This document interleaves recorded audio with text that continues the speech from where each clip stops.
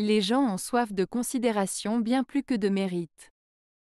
Hervé Bazin Cette citation d'Hervé Bazin met en avant le besoin fondamental de reconnaissance et d'estime des êtres humains, avant même le critère du mérite. En effet, la considération que l'on porte à une personne peut influencer son attitude et sa motivation, alors que le mérite ne garantit pas toujours une récompense ou une reconnaissance. Cela peut s'appliquer dans diverses situations, comme dans les relations personnelles ou professionnelles, où la considération et le respect mutuel sont essentiels pour instaurer un climat de confiance et de collaboration durable.